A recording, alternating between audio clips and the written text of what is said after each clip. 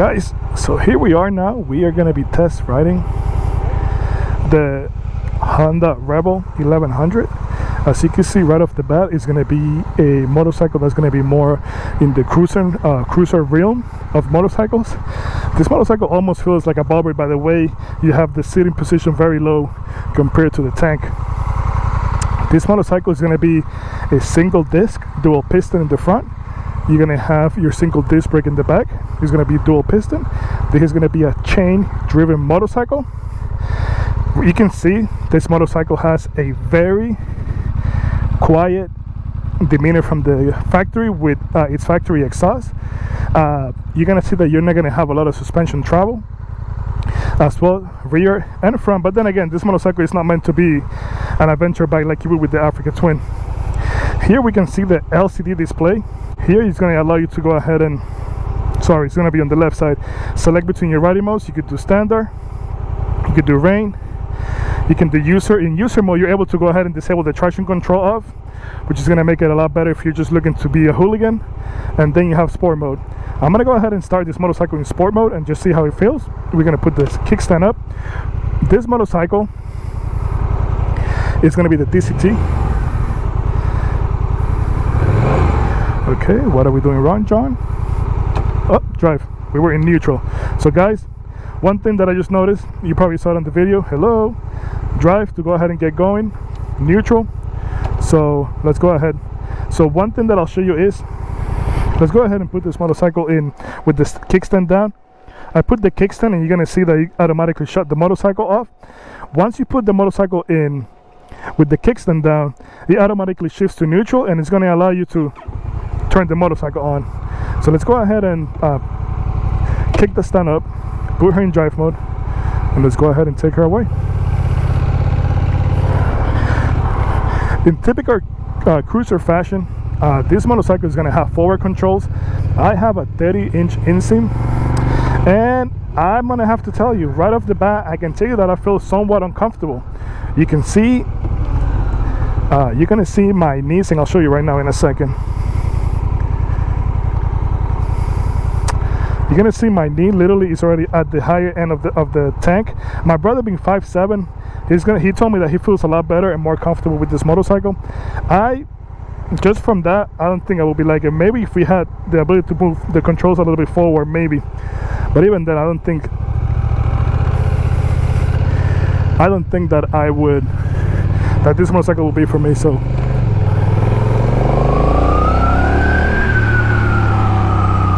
just like the Africa Twin, uh, this motorcycle in sport mode holds the gears a lot longer. So therefore, you're able to stay uh, in that power band a lot longer, which is going to make you, which is going to make the motorcycle feel more responsive. So uh, this motorcycle is uh, the motor is going to be tuned differently. Uh, this motorcycle has 78 foot uh, horsepower and it's to have around 70 foot-pound of torque. This motorcycle is to be it's to come in around $10,000 for the DCT model. It's to come around $9,200 for the manual transmission. I feel like this motorcycle is to be a closer competition to a Harley Davidson uh, Sportster the 1200 or perhaps the Indian Scout. One thing that this motorcycle has going for her compared to the Harley Davidson is going to be the power and torque numbers are going to be a lot better. Oh my god i keep myself i keep trying to look down to put my feet down. I'm not used to this riding position. So the harley davidson power numbers and torque numbers are going to be lower than your honda. One thing that you're going to notice is the dct model comes in at 509 pounds. The six-speed manual transmission is going to be is going to come at 487 pounds. So this one is going to have a 22 uh, weight, uh, 22 pounds uh, weight increase compared to your uh, six-speed manual. Now, you compare this to the Indian Scout, you compare this to the Harley Davidson Sportster, the 1200, and even with the DCT transmission adding an extra 22 pounds, the Sportster is going to come up over 580 pounds. And even with the DCT transmission adding an extra 22 pounds, the Sportster is going to come up over 580 pounds while this one having the automatic transmission is going to come at 509 pounds so from the get-go you're going to get more power you're going to get a lighter ride and if these motors and motorcycle is anything like Honda is known for, you know you're gonna get a more reliable ride than you would with, uh, with your Harley Davidson Sportster 1200.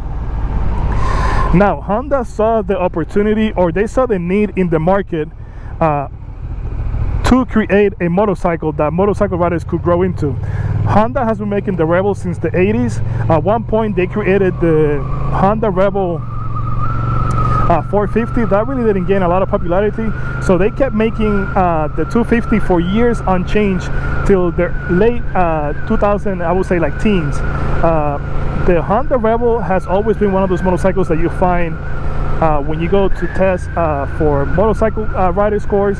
So the Rebel many times was the first motorcycle that many riders were able to sit on for the first time so what Honda saw was there was a need. Many riders, uh, as they were getting more experience and they were getting more comfortable in the riding, they wanted to go from the 250 into a different else. Now, in the later years, it went to a 300. So, in the later years, they saw that uh, many riders that were uh, original Honda Rebel owners were moving from the 300 to the 500. But then once they agreed the 500, they were going to other brands of motorcycles, primarily the 1200 uh, Sportster, which is going to be a very close competitor to this motorcycle. So they decided, we already have the engine, let's go ahead and make a motorcycle that is going to allow us to keep that customer base and go ahead and just keep our riders uh, within the ecosystem of Honda. So that's where the Rebel 1100 came in. When they were making this end, uh, motor, uh, where they were redesigning the motor for the Rebel, what they did was they wanted to have a motorcycle that was going to be more in tune with your typical cruiser rider. You want to have that low end torque that's going to be able to get you off the off the light very quickly, and this motorcycle does that. This motorcycle delivers peak uh, torque numbers around the 4200 mark. I believe it's 4250 RPM uh, compared to the same engine on the Africa Twin where it's gonna be uh, it's gonna be delivered uh, closer to the 6,000 RPM uh, this motor uh, the way they did it for the Rebel uh, it's gonna be a little bit detuned so you're gonna get less horsepower and less torque. However you get the torque numbers pretty much right off the bat. So guys right now we are in Florida it's around four o'clock in the afternoon. The sun is hitting us right from above and literally the display is going to be very clear. It's very crisp. You're able to see very clearly the RPM display. Uh, you can see your gear right now. You can see your mileage. And it's going to show you what type of riding you're doing right now. It's going to show you the outside temp. And if you want here is the ability to set the cruise control. You set it and you go.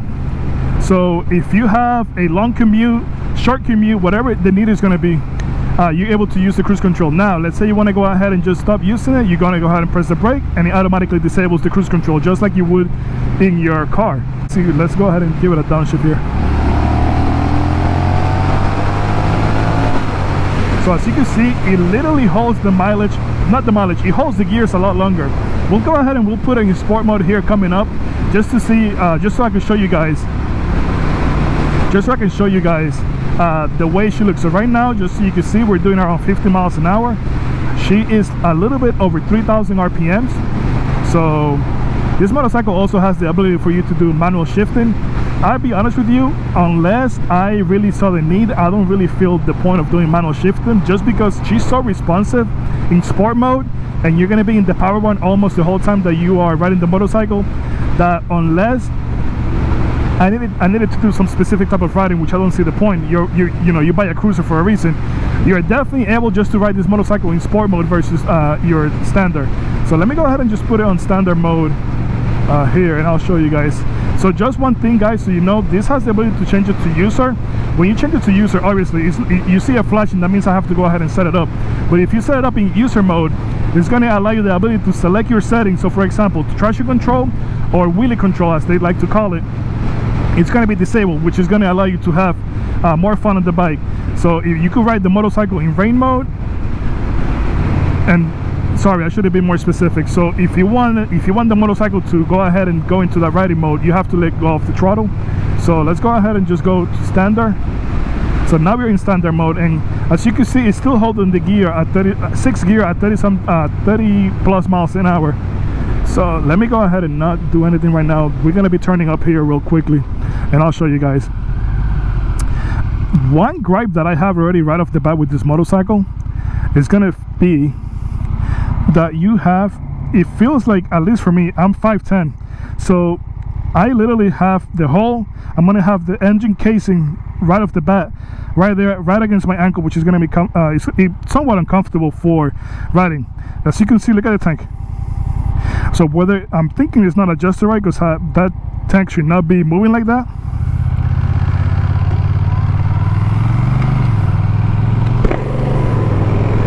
So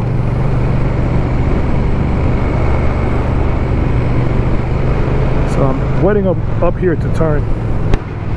So as you can see we're doing six we're already in six gear or 30 miles plus an hour which I'm gonna have to tell you uh, she feels very weak.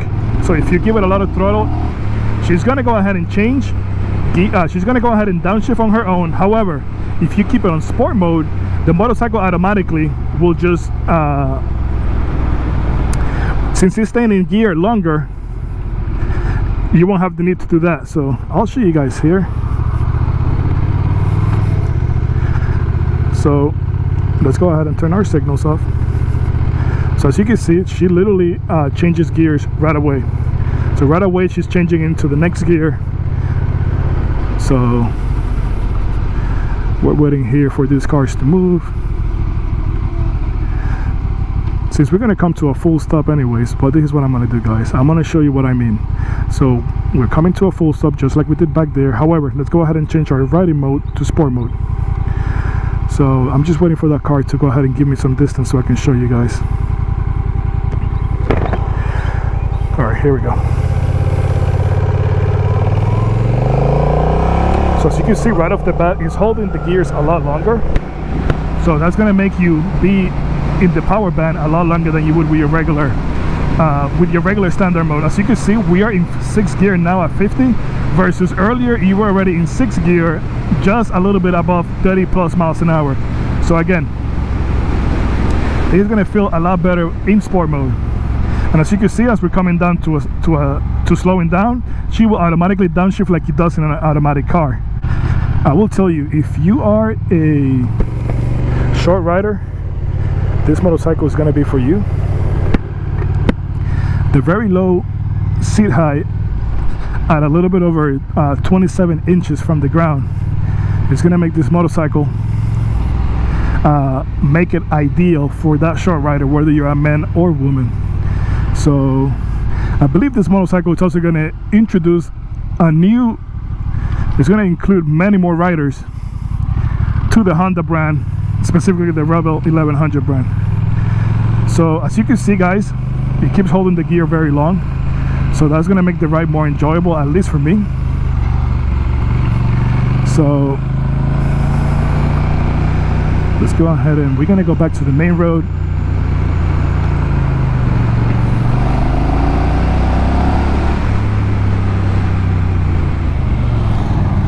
so brakes i'm gonna have to say they're not very responsive. Uh, i'm not sure if that's the abs or it, it has to do anything or if it has anything to do with the single uh, front disc but i was pressing both front and rear. And she was she was still she was thinking about coming to a stop so maybe i gotta press them a little harder or perhaps the bike only has 21 miles. So so maybe that ha that has a lot to do with it so let's go ahead and change this to so as you can see uh, on user mode it's going to be basically right now almost as it's going to be not like your sport mode. I will have to take the time to set it up. We're not going to be doing that on this ride all we're doing is just testing the motorcycle see how she rides. So this motorcycle here has a 3.5 gallon tank. Uh, it's good for 41 miles per gallon so around every 100 miles or so you're gonna have to be looking for gas. To me I feel like they should have added maybe that extra half gallon to go ahead and make it a full four gallon motorcycle. Uh, give it a little bit more range. But I believe that your typical rider is not going to need that much of a range just because of the type of riding they're going to be doing. So here we go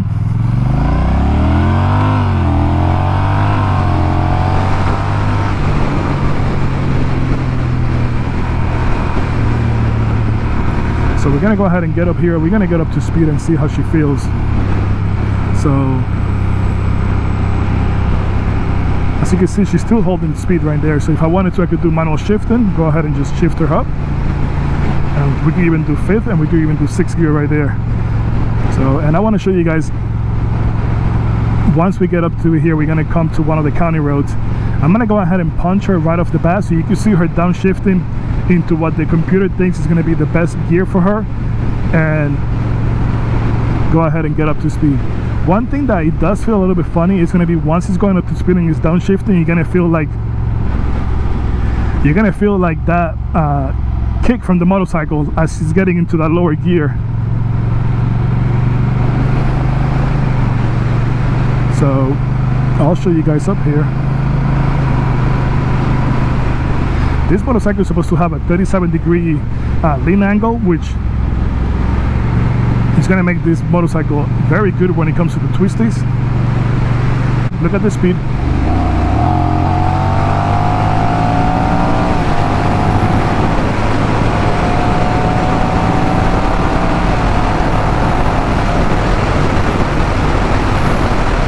So as you can see, this motorcycle is going to be limited to 100 miles per hour we did just that we did 99 and she was literally not going above if anything it was just dropping in speed. But then again this motorcycle is not one of those motorcycles that's, that's is made for you to be riding around like if you were riding a rocket. This is going to be your typical just uh, cruiser bike. You're taking it easy. You're just going you know taking your time riding either to work going to the beach just your weekend getaway bike. So if this motorcycle for me if this motorcycle was a little bit uh, bigger I would say maybe this would be a good bike for me. Uh, I feel like I'm cramped but then again I'm 5'10 we'll test uh, the the last riding mode that we could test without having to do any type of uh, any type of uh, changing to the riding the way we're doing. We're gonna go ahead and put her in rain I have to say Honda did a great job with the display. As you can see the back is going to be black. So literally the numbers the temperature the gear everything kind of pops out. So let's see. We're waiting for traffic here to die down. So it says that it's 85 degrees. I'm pretty sure I want to bet that it probably feels closer to 100 degrees. It's Florida season. Spring is here which is going to be summer. All right let's go ahead and see so I'm giving it all she got.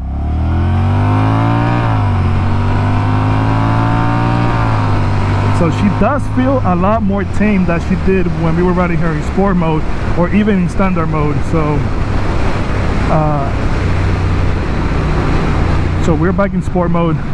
Let's go ahead and put that cruise control on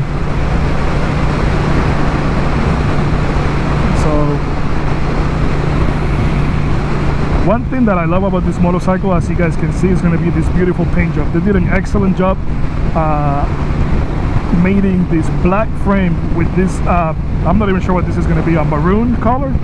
Burgundy? It literally looks it literally fits the motorcycle. So we turn the cruise control off there so you have the ability to on and off from here. Uh,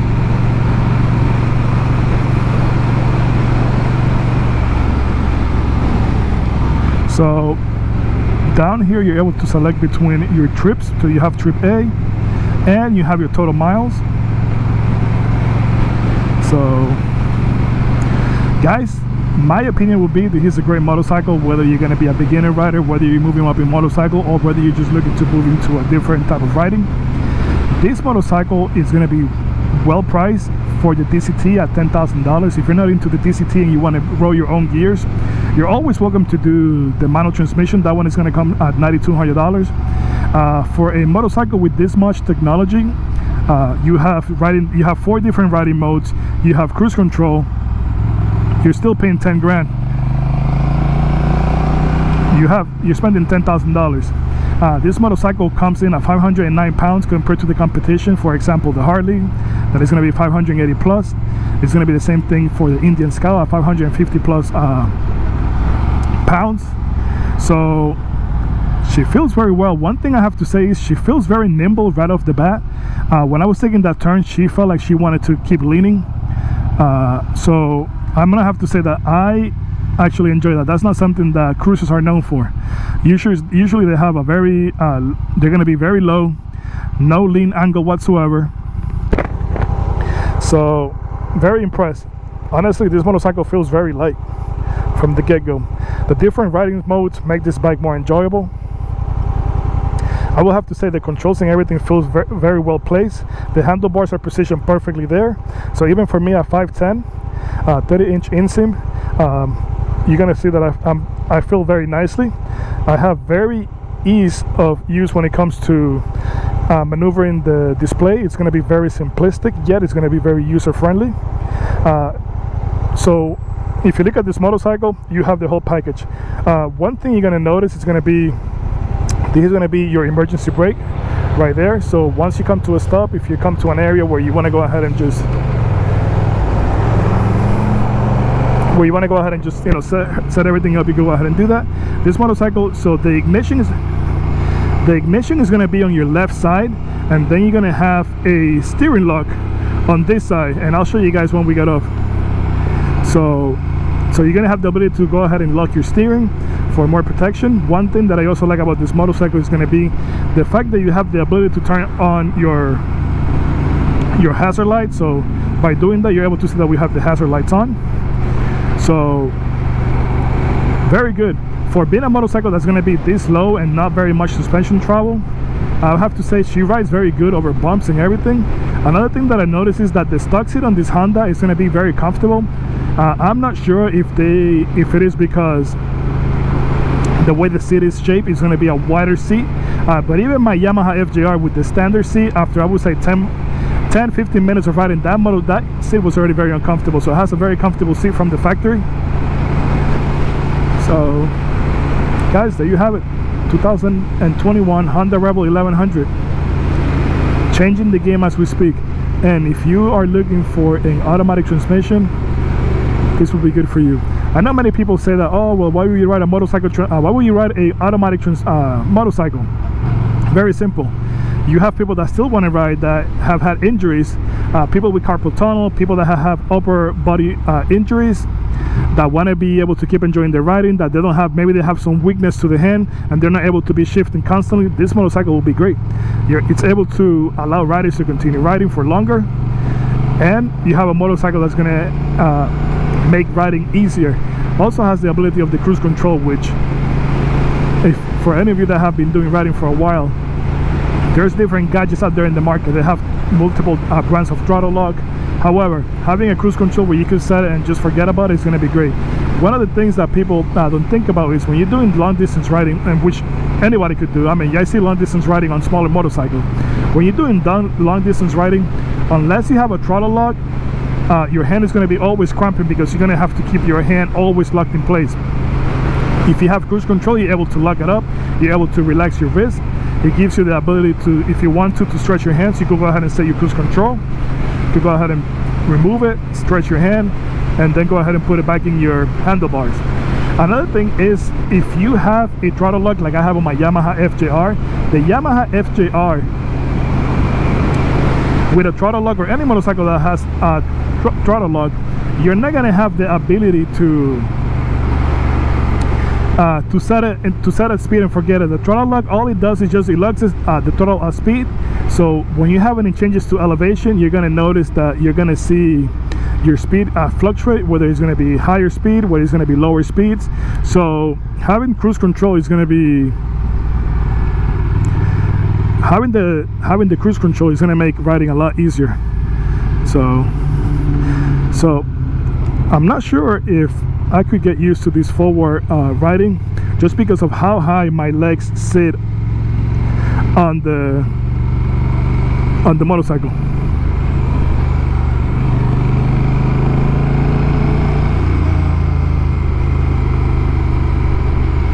Guys if you enjoy the content make sure to give it a thumbs up share like and subscribe i'm to be doing a lot more of this type of riding uh, i live in florida so they always have either demo days or they have days that some dealers just put together for you to go ahead and check out their motorcycles. So so if you like the content just go ahead and give me a like thumbs up follow the channel so you can see future content and just see what else is out there as far as riding so we're getting back here to the dealer and I'm just waiting to go ahead and so, so just so we can go ahead and pull in. Typical Florida. There's literally accidents left and right all the time here. That that Mercedes didn't fare well. So.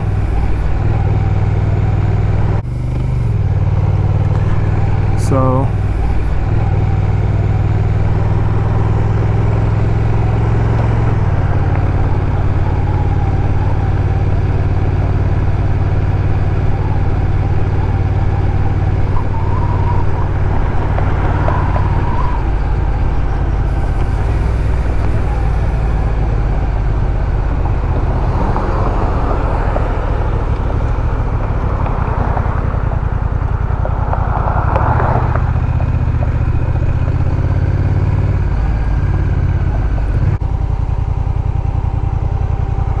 all right guys so we're here. So real quick we'll show you. So put in neutral put the side stand down and you're good to go